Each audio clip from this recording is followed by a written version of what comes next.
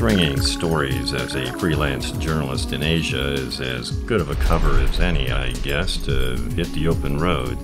So when they sent me to shoot the killing fields of Cambodia, I thought I was going for the ride, the sweet ephemeral high of the open road. Little did I know at the time how the gods were about to turn that little world upside One more. down. One more. Okay.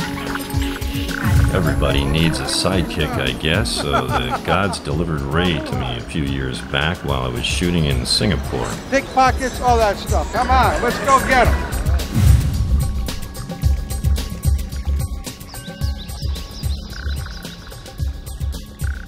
Wherever I do end up, it's gonna be one hell of a ride before I get there.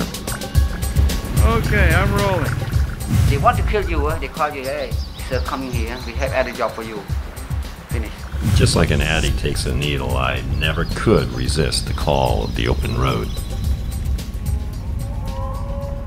Um, the Khmer told my mom that um, the Angkar um, need first brother. Yeah, we load uh, him and chill. What was the kind of torture that worked the best? uh, force them to eat the shit. took less than four years for the Khmer Rouge to kill two million people. Millions die in a Holocaust, and it just becomes fodder for a documentary or something. But the gods will not be mocked. I had to learn that lesson the hard way as my odyssey continued through the killing fields on the last road to Cambodia.